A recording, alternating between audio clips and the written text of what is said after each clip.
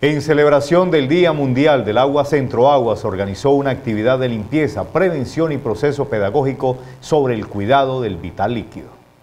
La coordinadora de Gestión Social y Comunicaciones, Claudia Patricia Rodríguez, enfatiza en el objetivo del evento tiene diferentes puntos, entre ellos la recolección de residuos sólidos y la limpieza a cielo abierto de los ríos. Para nosotros esta fecha es bien importante, obviamente por ser la empresa que presta el servicio de, acueducto a los tulueños y, pues que, buscamos con esta celebración, seguir sensibilizando y, generando en la comunidad acciones encaminadas a, cuidar el, agua, eh, a conservarla, generar acciones de, uso y ahorro eficiente de la misma eh, para garantizarle a las futuras generaciones eh, agua. Ya sabemos pues todas las dificultades y, el agua ya eh, que está escaseando, que la estamos contaminando, que no estamos generando acciones de, de cuidado y de protección de la misma. Los árboles frutales fueron donados para que los integrantes del evento los sembraran en muestra de agradecimiento al medio ambiente. Para nosotros es bien importante esta fecha, es así como hoy,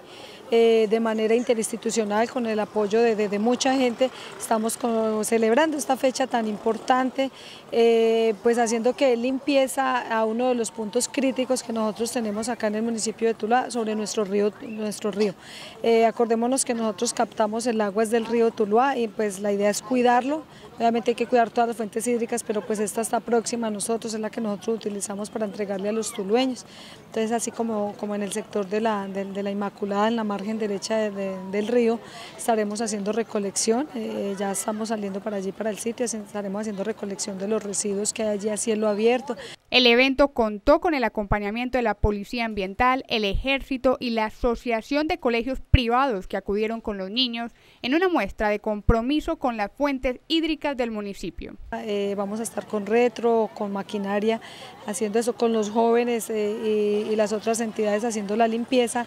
y, también generando, generando visitas en los hogares. Vamos a visitar toda la población pues aledaña al río, explicándoles sobre la importancia y manejo adecuado de los residuos sólidos, de que no los depositemos allí, que el río es un ser que está vivo y que lo tenemos que cuidar. Todas las instituciones que hicieron parte de este evento que conmemora el Día Internacional del Agua esperan que estas actividades se sigan repitiendo con el fin de preservar las fuentes hídricas del municipio.